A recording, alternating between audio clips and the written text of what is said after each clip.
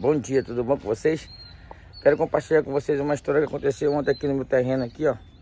Eu tô na construção aqui da minha casa, né?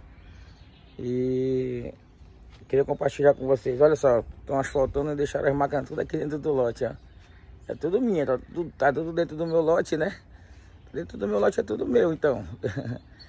então vamos lá, eu queria compartilhar com vocês uma coisa que aconteceu ontem, né? É, eu coloquei no grupo, nos grupos do Facebook, né, que eu tava precisando de um pedreiro. Aí, pessoal, é, pra você ver como é que é as coisas. É, 10 e meia da noite, mais ou menos, um, um rapaz é, entrou em contato comigo, né, dizendo que estava disponível para trabalhar comigo aqui na minha, na, minha, na minha obra. Aí, eu perguntei para ele, você é de onde? Ele falou, sou de Barcarena Sede. Porque tem a Barcarena Sede, pessoal, e tem, tem aqui nós que somos mais afastados da sede de Barcarena, né?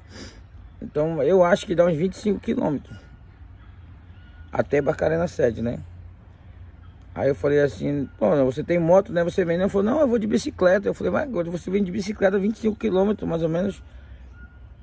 Eu vou, vou, vou de bicicleta. Eu falei, não, pô, eu te mando o dia da passagem que eu tô precisando de você.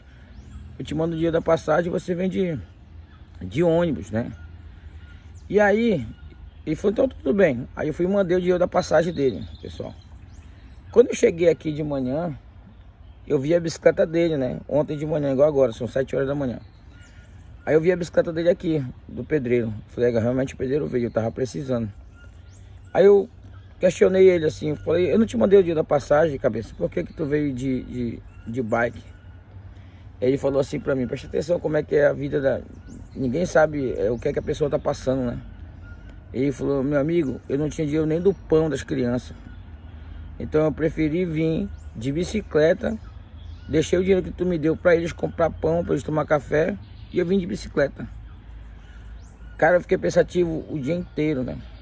Porque tem pessoas mal agradecidas que não agradecem a Deus com nada, né? Deus pode te abençoar, pode abençoar a pessoa do jeito que for, não agradece a Deus por nada, né?